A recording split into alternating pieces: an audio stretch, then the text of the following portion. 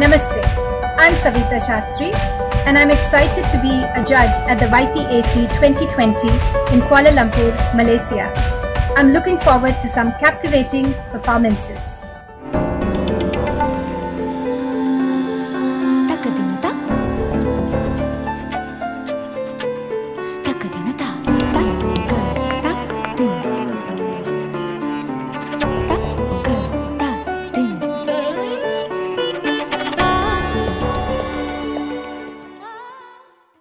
I wish the event and the participants phenomenal success and I look forward